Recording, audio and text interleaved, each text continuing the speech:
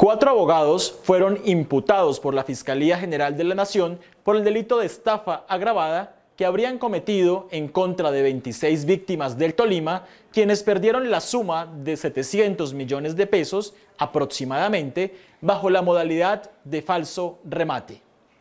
Según las investigaciones del Cuerpo Técnico de Investigación, adscrito al grupo de estafas y bajo el liderazgo de una fiscal de la misma unidad, los hechos habrían ocurrido entre el año 2010 y 2013, cuando los procesados, haciéndose pasar por funcionarios públicos, tramitaron la venta de inmuebles en remate por cuenta de la Dirección Nacional de Estupefacientes u otras empresas del sector público o privado, para así pedirle dinero a las víctimas en grandes cantidades.